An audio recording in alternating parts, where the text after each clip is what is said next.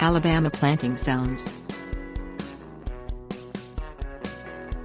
Alabama has two main planting zones, and its warm climate and long growing season allow gardeners plenty of choices when it comes to selecting crops for the garden and plants for the landscape.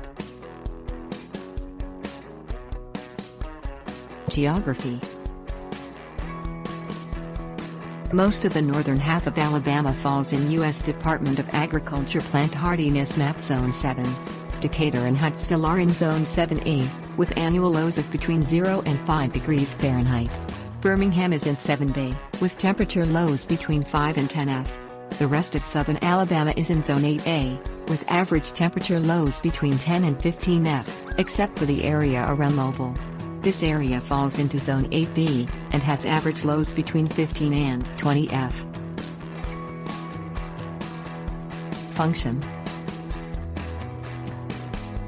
The USDA plant hardiness zones indicate the annual average low temperatures that residents can expect in each area. These temperatures can serve as a guide when selecting landscape plants and crops. Due to Alabama's temperate winters, landscape plants do not need to tolerate freezing temperatures. Some cold hardy plants, such as daylilies, may even be evergreen in these mild temperatures. Potential Use the zones that cover each area the time the planting of garden crops to maximize yield and output. You can plant hardy plants such as lima beans, okra and summer squash as early as April because the danger of frost passes so early and the cold doesn't come until late. There is often time to get in two crops of these and other vegetables.